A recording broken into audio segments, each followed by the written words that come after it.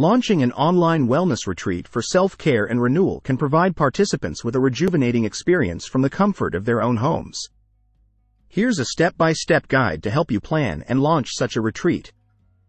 Define your retreat theme and goals. Decide on the overarching theme and goals of your online wellness retreat. It could focus on topics like stress reduction, mindfulness, holistic wellness, or personal growth. Clarify the objectives you want participants to achieve by attending the retreat.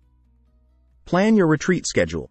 Develop a schedule for the retreat, including workshops, classes, activities, and relaxation sessions. Consider incorporating a variety of wellness practices such as yoga, meditation, mindfulness exercises, creative expression, and self-care rituals. Allocate time for breaks and reflection. Select presenters and instructors, Curate a lineup of presenters, instructors, and wellness experts to lead sessions during the retreat. Choose individuals who are knowledgeable, experienced, and passionate about their respective areas of expertise. Consider diversity and inclusivity in your selection to offer a well-rounded experience. Choose your online platform. Select a user-friendly and reliable online platform for hosting your virtual retreat. Options include video conferencing tools like Zoom, webinar platforms, or specialized virtual event platforms designed for wellness retreats. Ensure that the platform supports interactive features like live streaming, breakout rooms, and chat. Create marketing materials. Develop compelling marketing materials to promote your online wellness retreat. This could include a dedicated website or landing page, promotional videos, social media graphics, email newsletters, and press releases. Highlight the unique features, benefits, and value of the retreat to attract participants. Set your pricing and registration.